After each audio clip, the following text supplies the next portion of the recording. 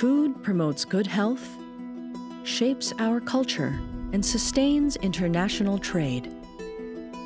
But very few people think about the efforts being made to ensure the food we eat is safe.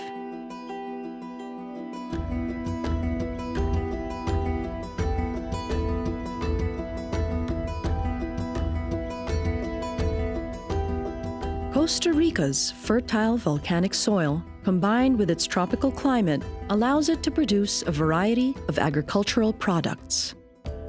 The country's meat products are exported to great demand throughout the world. Many global markets demand the highest level of safety checks before food can be successfully exported. Meeting these international norms can be challenging for many low and middle income countries. Since 2014, the IAEA, in cooperation with FAO, has been helping Costa Rica to meet this challenge. The IAEA supports Costa Rica to use nuclear techniques to detect common food contaminants such as pesticides, heavy metals, toxins, and pathogens.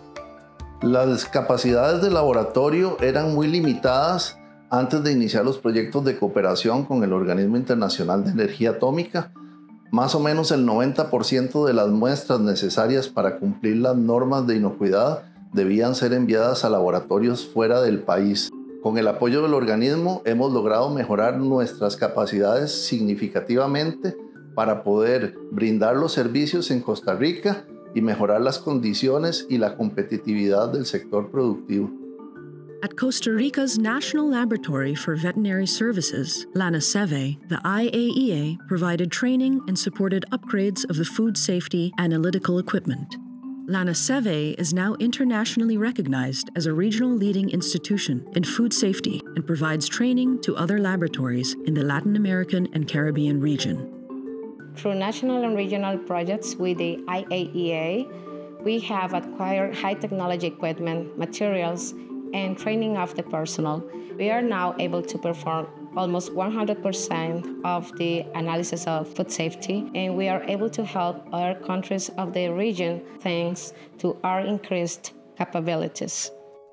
Over the past decade, the IAEA's cooperation with FAO for food safety in Costa Rica has led to the opening of new markets for exports.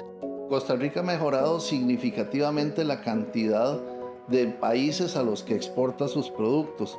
En los últimos años se han abierto muchos nuevos mercados, destacando el caso de China, que hoy en día es el mercado más importante para la exportación de carne bovina. By expanding its market range using nuclear techniques for food safety, Costa Rica empowers its farmers to increase food production, leading to greater prosperity and improved livelihoods. Costa Rica's success is just one example of the positive impact of nuclear techniques. The Atoms for Food initiative assists countries in using nuclear techniques and technologies to transform agri-food systems and adapt them to the harsher climate we now have to face.